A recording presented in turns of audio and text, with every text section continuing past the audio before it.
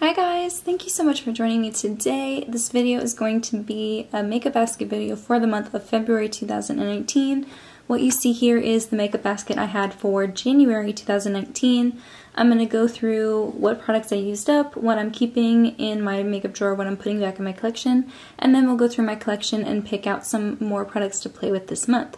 So let's just get started. I'll start with the ones that I have already used up. I actually used up quite a few products this month. I finished this Makeup Revolution concealer. I'm in the shade C7 and I liked this concealer a lot and I'm sad to see it go, but I'm going to work on some other concealers that I have in my collection.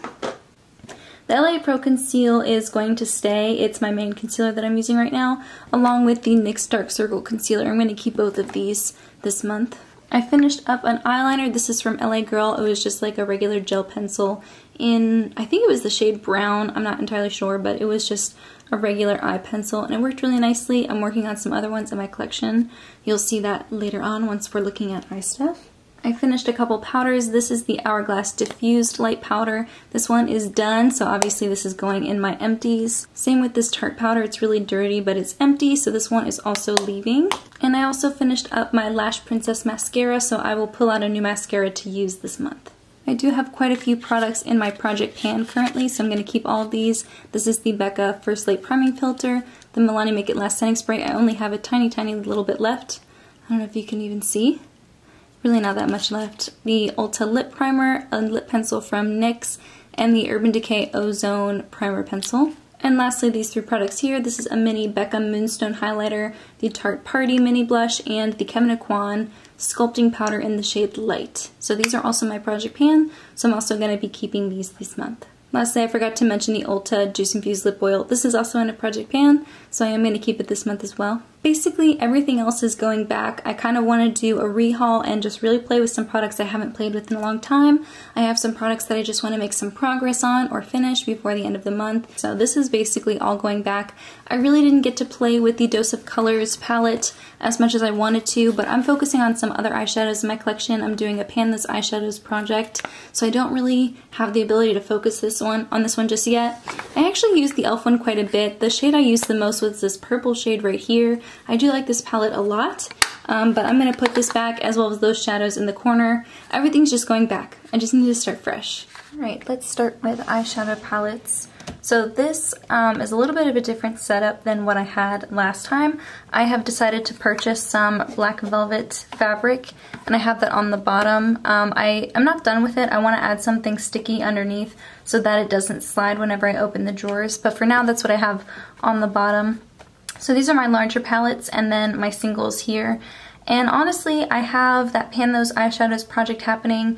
I have hit pan on a couple of the shadows, so I will be choosing new ones. So honestly, I don't even know what type of eyeshadows I'm going to be using this month. Stay tuned for the update. I'm really excited to share my progress with you.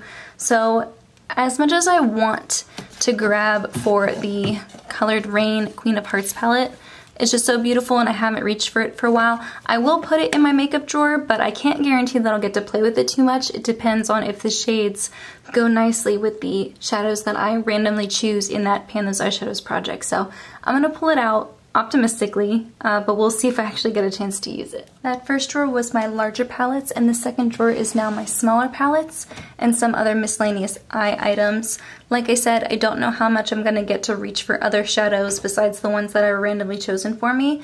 I do know that two of the shadows in that project are from the Creepy Cute palette. This just came in the mail last month, and I just so happened to choose two shades from it for my Pan Those Eyeshadows project. I don't know if you can see I have two tiny little baby dips in those shades right there. Those are the two shades from my project. I'll most likely be playing with this a lot this month so that I can get some more progress on those two shades. Really loving this so far. I'm a big fan of this palette. I do need a new mascara, so I'm going to grab the other one that I have. This is the Mad Lash Mascara from The Balm. I've been using it for a week or so and it's okay. I think I'll like it better once the formula dries up a little bit more, but this is the mascara I'll use this month.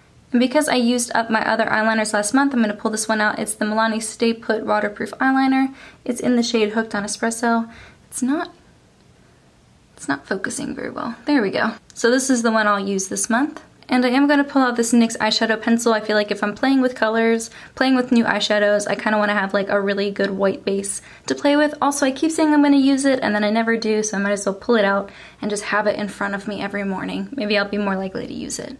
The next drawer is blushes, and you'll notice I got rid of the little jewelry container that I used to hold them, and now I have them just lying out flat. I think it's a lot easier to look at them this way and I was kind of getting sick of like that old dusty jewelry case. I still have it. I might repurpose it for something else, but for now I think the velvet liner is doing really nicely. I got the idea from Mariah Leonard, and um, she did something similar like that with her like best of the best makeup drawer, like her top makeup drawer. She did a video all about it, and she mentioned how she used black velvet on the bottom, and I think that's really, I mean, it makes it look more luxurious, but it also keeps them from slip sliding and just kind of makes it more fun to pick makeup out of the drawer. So I give her credit. She's the one who thought of it and I'm kind of just copycatting. so I am using the Tarte Party Mini Blush in my project pan currently, but there's not a lot left. I imagine I will finish that up relatively soon. I do want to play with the Too Faced Baby Love blush. I've just been really liking it. I think this will be the next blush that I try to finish because I have already hit pan on it and it is a product that I hit pan on relatively quickly. So I feel like I could use it up. Maybe not this year necessarily. I'm not going to force myself to try to finish it, but I am going to try to put some more work on it. It's a really beautiful everyday blush. But if I'm feeling kind of fancy, I kind of want to pull out this Hourglass blush. I feel like I never get to give this the attention that it deserves. It's in the shade um, Incandescent Electra and it looks a lot more neon and bright in person. I don't know if it's picking up on the camera, but it's beautiful and I want to play with this maybe a little bit this month too, so I'm going to pull these two out. Next drawer is bronzers, and I did recently purchase this bronzer from The Balm, and I did play with it a little bit this month, but not a ton um, just a handful of times. I think it's a beautiful color and I did put it away so I could focus on some other bronzers in my collection. More importantly, this Laura Geller one. I had recently hit pan on it and I decided to repress it. There's still a ton of product in there, but I feel like it's softened up the, floor, the formula a little bit. I found that after I hit pan on this bronzer, the formula was a little bit harder to pick up on my brush. So even though it probably wasn't ready for me to repress just yet, there's still a ton of product in here. I felt like it would help make it a little bit easier to actually pick up on my brush, so I repressed it and I'd like to play with it. It's a really nice light colored bronzer. It's really great for fair skin. It's in the shade Sunrise Fair and I really like this for the winter time when I really don't have any sun. so I'm going to pull this out this month and focus on it. Next up is highlighters and oh there's so many highlighters in here that I want to play with. um, I think what I'm going to do is play more with this palette here from Anastasia Beverly Hills. It's a palette with a couple different shades from different palettes in it and I really would like to just play with this a little bit more, um, see if this is even something that would go good on my skin. It's kind of like a pinky peachy type of duochrome. It's not really picking up on camera. And I don't know if that's too dark for my skin, if that works it better as a blush topper or what. So I just want to play with these a little bit more. I love Crush Pearl. It's my favorite one. So I kind of just want to pull these out and play with them again. And I think that's more than enough highlighters for this month. Next up is foundations and honestly I haven't been wearing a lot of liquid foundation lately. I've really been trying to focus on this IT Cosmetics CC Plus powder. I had hit pan on it and decided to repress it so I don't have a ton left and honestly I would just to like to get this out of my collection. If I use a very light hand, like use some concealer on spots on my face and then use a light hand of this all over, it looks nice but I'm just kind of I don't know, over expensive powder foundations. I'd like to use this up. I've had it for a while. It was a backup of another powder like this, and so I'd like to use it up because it's pretty old. I am going to pull out this Besame Rose powder. I really like it. I just recently purchased the full size of the Ultraviolet powder. That one was on sale for like $10, so I jumped on it. Thanks to everyone who made a comment and mentioned that it was on sale. It was a really great deal. It was like more than half off, and it was free shipping. So I can finally use this one up knowing that I have the violet one to take its place when it's done. I also have this little mini Laura Mercier powder container. It has a bunch of the Meow Cosmetics um, samples all mixed together. They were all a really good match for me, so I felt comfortable putting them together in one. And I'm hoping to use them up. They were dollar samples, but they were really nice. They're really great um, light coverage foundations, but this brand, Meow Cosmetics, has like 86 different shades with all different types of levels of coverage and all different undertones. It's a really great brand to check out and they sell dollar samples so you can purchase a couple and kind of try them out and see what shades would work best for you. So I'd kind of like to use this a little bit more. I do have the Milani setting spray in my project pan, but once that one is finished, I want to use this. This, it says Pure on it. If you can see, it's a refurbished Urban Decay All Nighter setting spray, but I have some of this Pure Cosmetics setting spray inside of it. I like the sprayer on this, I like the container better, and the Pure Mist for some reason starts to stick after a while, so it's kind of, whenever I push it down to spray, it kind of sticks and then won't go back up, and it takes forever to get a nice even spray all over my face. I prefer the mister on this bottle, so I refurbished it. So this is what I'll use as a setting spray this month. Also, I want to grab this powder here. It's the IT Cosmetics Bye Bye Pores powder. I have repressed it and hit pan on it again. I've been using it sometimes to set my under eyes, sometimes just to set my eyeshadow primer. Um, just kind of little ways to use it up. I'm not really crazy this, about this powder, and so I am eager to use it up. I'm sure I can get this done by the end of the month and move it out of my collection. But I think that's everything for foundations. Next up is lip products. I don't have a color specifically that I want to play with. It really depends on which eyeshadows I end up randomly choosing this month. So I am going to just leave this as it is. I do want to pull out a lipstick that I recently purchased. Let me give you a little sneak peek of some makeup that I have been purchasing, but keeping to the side. So I do have a little drawer of some new products that I don't want to open just yet. Either I'm finishing up a product and I have bought something to replace it. For example, the Bare Minerals Color Corrector. That will replace my NYX Dark Circle Concealer once that one's gone. And same with this Besame powder, it will replace the rose powder once that one is gone. But then I have some other ones that I don't want to pull out just yet, like a Becca blush and a primer from Cover FX. Like I don't want to pull those out just yet.